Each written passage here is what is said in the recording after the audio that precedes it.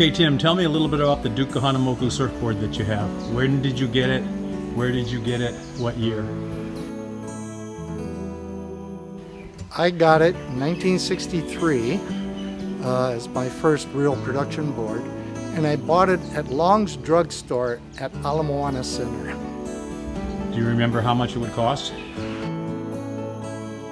$125. And did, how long did you actually use the board?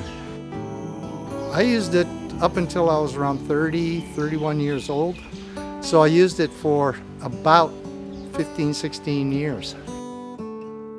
What were your primary surf breaks back then?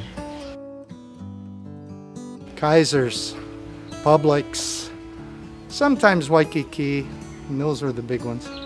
Yeah, I noticed you have another board there, which you say you think is balsa, but it's painted blue. Uh, what makes you think it's balsa? It weighs a ton, and you can't see through it because it's not clear glassed anywhere. Um, it's just really heavy, looks like it was hand shaped, and I got that one around 1961. And the skeg was on it, or that one was added later? The skeg was already on it.